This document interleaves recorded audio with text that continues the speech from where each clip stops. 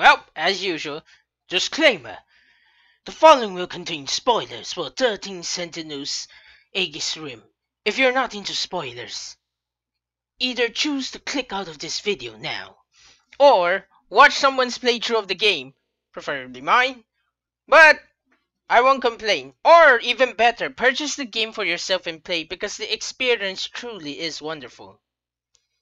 Anyway, on that note, let's if you're still here, you're either alright with spoilers or you already know what the hell I'm talking about. So, let's get this show on the road. I always wanted to say that in all honesty. In all honesty, honestly. On today's episode of 13 Sentinels Aegis Rim Character Files, we'll be discussing about Yuki Takamiya. As usual, starting in chronological order, we'll be first discussing the 2188 Yuki Takamiya. The 2188 Yuki Takamiya was a major and important part of, well, the Interstellar Development Project and Project Ark as a whole. If you want more information, please uh, click on, as I'm I'm pretty sure my Interstellar Development Project uh, explanation is a part of the playlist for my character file. So do click on it if you need more exposition or are simply curious about how I view the in the Interstellar Development Project and Project Ark as a whole. Anyway, the 2188 Yuki Takamiya's role in the Interstellar Development Project was very important because of the fact that she created the self-replicating probes that would oversee many aspects of the project, including the space travel, the spacefaring, the data transfer, the data storage, as well as eventually leading, uh, no, not leading, as well as eventually creating the command probes that would take charge of cultivating or terraforming a planet, which is, um, well, as you can see, Yuki Takamiya's research into self-replicating probes was the only thing that allowed the interstellar development project to even become feasible because using normal space travel, no human would survive the trip. As shown by Tomi Kisaragi's um, research into terraforming, it takes near millennia, near one or two millennia for a planet to be properly terraformed to become habitable for human life. And I'm fairly sure no matter how advanced their technology was, it was impossible for them to make it so that a human being would go past 200 years old. And as usual, the first and second loop Yuki Takamiya, there is absolutely no information on them, so we'll skip immediately to the events of the game, with the third loop. We can infer that most of Yuki Takamiya's storyline takes place uh, about a little over a little over a few days after Natsuno Minami's storyline concluded because most of Yuki Takamiya's storyline consists of her researching, investigating, and searching for the missing Natsuno Minami. Of course, the simulation and universal control pretty much just uh, rewrote the data and make all the AIs believe that Natsuno was just sick or something. But uh, Yuki, being one of the 15 survivors, wasn't uh, wasn't really well. Actually, being a being one of the survivors had nothing to do with it. Universal Control still has some extension of control over their memories now. Yuki Takamiya simply wouldn't believe that Natsuno would just mysteriously disappear, run away, or even fall sick for such a long period of time. So she started using her connection to the SIU via Ida Tetsuya and the and the special agents anyway to investigate. She would eventually meet Ei Sekigahara who would then help her go rescue Natsuno in the future. Though I say the future, us as the viewer already knows that what the time frame I'm speaking of is 2025, which is Sector 3. Anyway, Yuki would successfully rescue Natsuno and bring her back to Sector 2.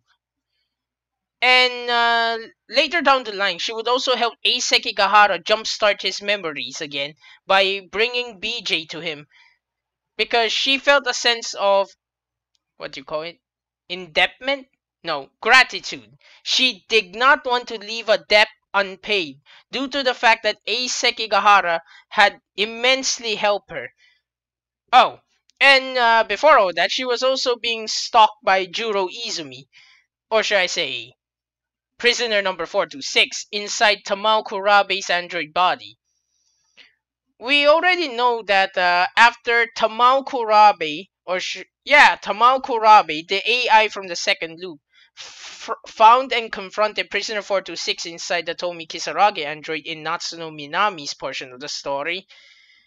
426 managed to hijack the android body from Tamao Kurabe after being after the Tomi Kisaragi body was destroyed, which he would then use to transfer the key.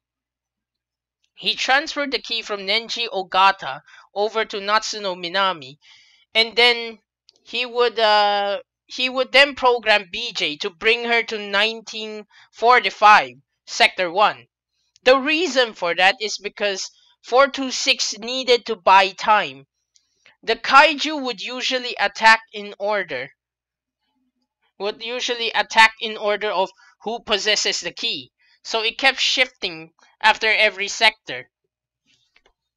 The reason why he programmed BJ to bring Natsuno to to Sector 1 was so that the kaiju would ignore Sector 2 for now and immediately go attack Sector 1 following the command signal being, well, broadcasted by the key that was put inside Natsuno Minami. Prisoner number 426 also took advantage of uh, being close to Yuki Takamiya to not only un unlock her Sentinel Sentinel authorization so that she could pilot her Sentinel, but also to modify her a bit so that she won't uh, find Natsuno too soon. He wanted to make sure Natsuno remained in the different time in the different sectors as long as possible to keep the kaiju preoccupied from attacking sector 2 so that he would have more time to get everyone ready to fight back against the kaiju. She would then join the fight against the kaiju and later fell in love with Shu Amiguchi because, well, they already have a daughter. Apparently, their daughter looks exactly like Natsuno, which makes a lot of sense considering that uh, Natsuno was the twin Natsuno Minami and Yuki Takamiya in 2188 were mother and daughter. So biologically, they are indeed very, very close to each other. Like, in terms of cloning, since they're the same age, you could consider them step siblings. They're that close. Uh, biologically, from a biological perspective anyway. Uh, sorry, I'm so repetitive. Uh, so Yuki would also show symptoms of jealousy. she, though she and Shu have a decent relationship as a couple, she has shown to also be the jealous type. As when Shu Amiguchi flirted with Ryoko Shinonome, Yuki got very angry and decided to start ignoring him. So much so that Natsuno had to guilt trip Yuki into, Don't do this, Yuki. Remember Konatsu, your daughter. She can't grow up in a fatherless environment. Man, that is one heavy guilt trip.